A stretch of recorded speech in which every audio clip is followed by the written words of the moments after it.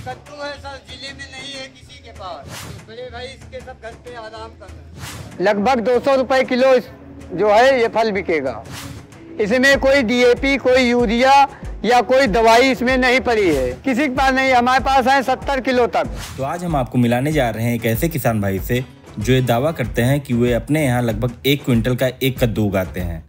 इनका नाम है योगेश सिंह उर्फ़ छोटू और ये रहने वाले हैं मलिहाबाद लखनऊ के। वीडियो में मैं इनका मोबाइल नंबर भी आपके साथ शेयर कर दूँगा, जिससे आप इस कद्दू के बारे में इनसे और भी अधिक जानकारी प्राप्त कर सकें। आप लोगों ने निश्चित रूप से मलिहाबाद का नाम कभी न कभी ज़रूर सुना होगा, क्योंकि यहाँ के बाग और यहाँ के आम भारत ही नहीं, पूरे विश्व में प्रसिद्ध है, खासकर मलिहाबादी दशहरी।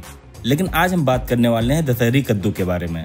जय हिंद दोस्तों, Indian mango farming YouTube channel में मैं विकास, आप सभी का स्वागत करता हूँ। आम महोत्सव 2022 के दौरान जब हम लोग अलग अलग स्टालों के बारे में जानकारी ले रहे थे उसी दौरान हमारी मुलाकात हुई मलिहाबाद के किसान भाई योगेश से। नमस्कार, हम योगेश सिंह हैं, लतीफपुर में रहते हैं, ब्लॉक माल, तहसील मलिहाबाद, जिला लखनऊ पड़ता है। हम अपने यहाँ, अपने हाथों से, कड़ी मेहनत से और पसीने से ये कद्दू तैयार किया है। इस कद्दू का वज़न लगभग 35 से 30 से 35 किलो का है। तो इन्होंने हमें बताया कि ये अपने गाँव में कद्दू की एक ऐसी प्रजाति की खेती करते हैं, जिसका वज़न लगभग एक क्विंटल तक पहुँच जाता है।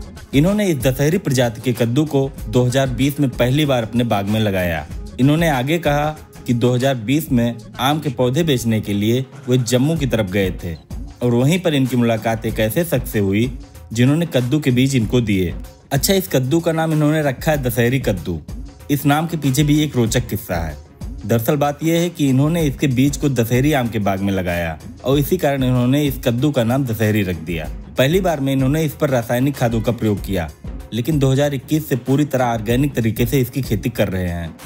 लगभग दो सौ किलो जो है, ये फल बिकेगा। क्योंकि ये ऑर्गेनिक तरीके से तैयार है। इसमें कोई डीएपी कोई यूरिया या कोई दवाई इसमें नहीं पड़ी है।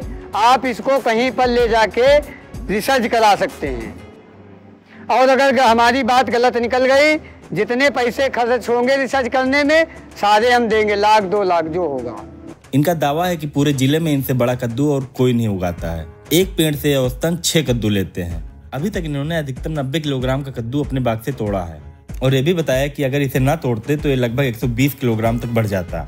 हालाँकि यहाँ पर इन्होंने 35 किलोग्राम का ही कद्दू लाया है। जब इनसे हमने पूछा कि आपने और बड़ा कद्दू क्यों नहीं लाया इस पर इन्होंने क्या कुछ कहा आइए सुनते हैं। कद्दू ये, सर जी, ये सबसे छोटा है। ये लगभग 18-20 किलो का है। कि घर पे रखे हैं सत्तर किलो तक। वो सर जी, यहाँ दो लेबर लगते हैं उठाने, रखने में। हम किसान आदमी, इतना पैसा नहीं खर्च करना चाहते। एक लेबर आता है तीन सौ रुपए में। नब्बे किलो कद्दू, सत्तर किलो कद्दू, दो बंदे लगते। तीन बंदे। अभी पेड़ भी हमारे पास है लगभग तेरह सौ स्क्वायर फीट में पेड़ है इसका। योगेश जी ने आगे बताया कि अगर आपको इससे बड़ा कद्दू देखना है तो हमारे गाँव आइए। इस महोत्सव के आयोजन के एक सप्ताह पूर्व भारतीय कृषि अनुसंधान परिषद के अंतर्गत केंद्रीय उपोष्ण बागवानी संस्थान रहमान खेड़ा द्वारा लखनऊ में 28 जून 2022 को भी एक दिवसीय आम मेले का आयोजन किया गया। वहाँ पर भी योगेश जी ने 45 किलोग्राम के कद्दू का प्रदर्शन किया था। Rehman Khera farm research centre अभी 28 तारीख को मैंगो फेस्टिवल लगा था। वहाँ ले गए थे अट्ठाईस पैंतालीस किलो का कद्दू। वहाँ पे जो है हमारी खबर निकली थी, न्यूज़ चैनल पर। उसकी कीमत ये आकी गई है, इसमें जो है है। हालाँकि इनकी कद्दू की कीमत थोड़ी ज़्यादा है। ये 200 से 250 रुपए प्रति किलोग्राम कद्दू की बिक्री करते हैं। अगर आप में से किसी को भी इस कद्दू के बीज की आवश्यकता है तो वो भी ये उपलब्ध कराते हैं। इन्होंने कहा कि इसके लिए कम से कम पाँच बीज का ऑर्डर होना चाहिए। और प्रति बीज का दाम एक सौ है। मतलब पाँच बीज के लिए छह सौ रूपए। ये ऑनलाइन और ऑफलाइन दोनों तरीकों से बीजों की बिक्री करते हैं। और अधिक जानकारी के लिए आप इनसे मोबाइल नंबर पर संपर्क कर सकते हैं। इनका मोबाइल नंबर है double eight seven four double zero four one three zero. अंत में आप लोग से यही कहना चाहूँगा कि बड़े मंच पर अभी तक योगेश जी द्वारा अधिकतम 45 किलोग्राम के कद्दू का प्रदर्शन किया गया है और इनके 90 किलोग्राम के कद्दू को देखने के लिए अगले वर्ष इनके आम के बाग का विज़िट ज़रूर करूँगा। अगर वीडियो आपको इन्फॉर्मेटिव लगी हो तो इसे लाइक ज़रूर करें। धन्यवाद।